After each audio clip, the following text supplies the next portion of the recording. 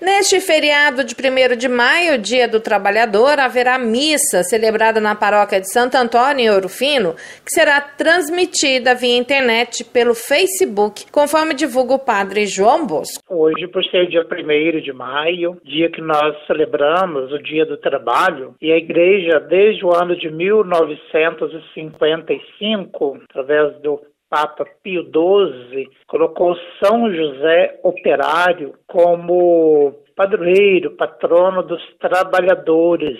Ele que era também um trabalhador, trabalhava na carpintaria, que trabalhava também para manter a sua família através do suor do seu trabalho. Pensamos que ele também interceda a Deus por nós. Então, hoje, às 19 horas, haverá a Santa Missa aqui na Igreja Matriz de Santo Antônio. Será transmitida pelo Facebook da paróquia e nós vamos pedir as bênçãos de Deus por intercessão de São José Operário, todos os trabalhadores, trabalhadoras da cidade, do campo, da roça, né? E também vamos rezar, é claro, acima de tudo, pelos desempregados, hein? Que Deus ilumine, abençoe, para que eles consigam um dia um trabalho, uma profissão, a qual tão necessário para os nossos dias. Vamos confirmar o horário. 19 horas, aqui na Igreja Matriz de Santo Antônio. Pelo Facebook. Isso, pelo Facebook.